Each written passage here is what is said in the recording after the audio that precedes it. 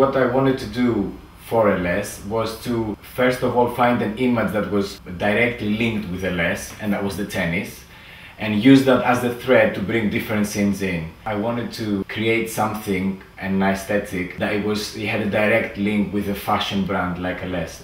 I think that what I wanted to say was to put something together that set the story in a bit of an abstracted form and trying to bring all the fun elements that they are associated with Ellesse. I studied in Coventry University. My background in education is in graphic design. I then attended a master's course in uh, design and digital media, which was the first time that I got taught about animation. I did complete the MA course and then I worked on a couple of commission projects. Then I got involved in organizations that they were doing work within the community and I found it very, very exciting. The fact that I could apply my skills in creating animation with other people and artists and other artists from different artistic disciplines. Yes, most of my work was in Birmingham. Now I work in London as well.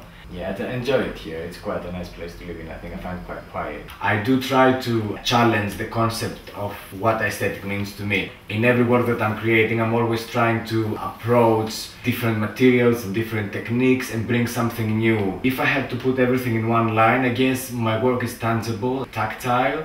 The less digital medium, the better, really. I've recently created two animation music videos that they were very different from the work that I've done so far, mainly because this time I had to apply the animation on music piece that had already been created, where I always worked on the other way. I always associate the brand with tennis, I suppose. I think that was the stereotypical image that I had in my head because of the advertising campaigns that they had in the past. I did grow up having a few t-shirts from Ellesse. I remember I had a pair of trainers from Ellesse. I always liked their designs. I'm not a, um, a, tennis fan, I'm not particularly a sport person. I mean, I go to the gym, but not involved in a sport as such.